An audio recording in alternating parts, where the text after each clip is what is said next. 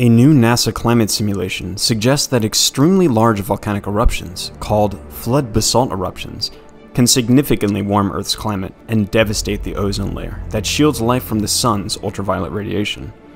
Unlike brief, explosive volcanic eruptions that occur over hours or days, flood basalts are regions with a series of eruptions, perhaps centuries each, and occurring over periods of hundreds to thousands of years, sometimes even longer.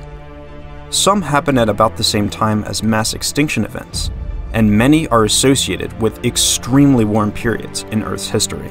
Researchers used the Goddard Earth Observing System chemistry climate model to simulate one such flood basalt eruption, the four year long phase of the Columbia River basalt that occurred between 15 to 17 million years ago in the Pacific Northwest.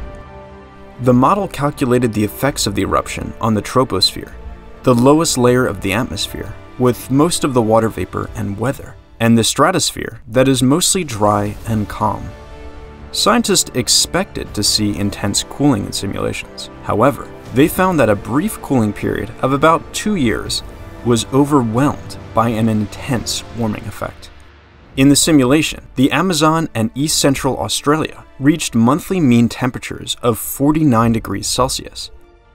In the Arabian Peninsula, July mean temperatures were equal to or exceeded 55 degrees Celsius. In the central United States, there were extreme monthly mean temperatures equal to or exceeding 40 degrees Celsius. The simulations predicted a reduction in the ozone by about two thirds over global average values, which is roughly equivalent to the whole planet having an ozone thinning comparable to a severe Antarctic ozone hole. Eruptions emit sulfur dioxide gas into the atmosphere, which converts to solid sulfate aerosols.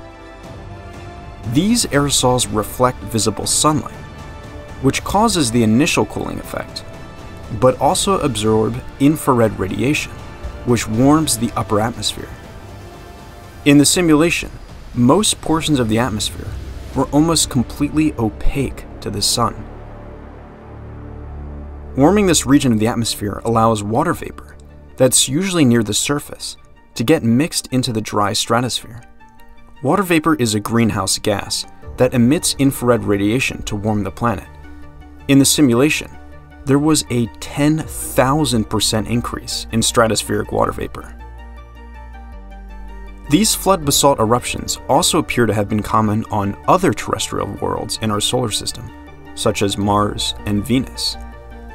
Although Mars and Venus may have had oceans of water in the distant past, both are currently very dry. Scientists are investigating how these worlds lost most of their water to become inhospitable for life. And if the predictions of this simulation are correct, Extensive flood basalt eruptions could have contributed to their arid fates.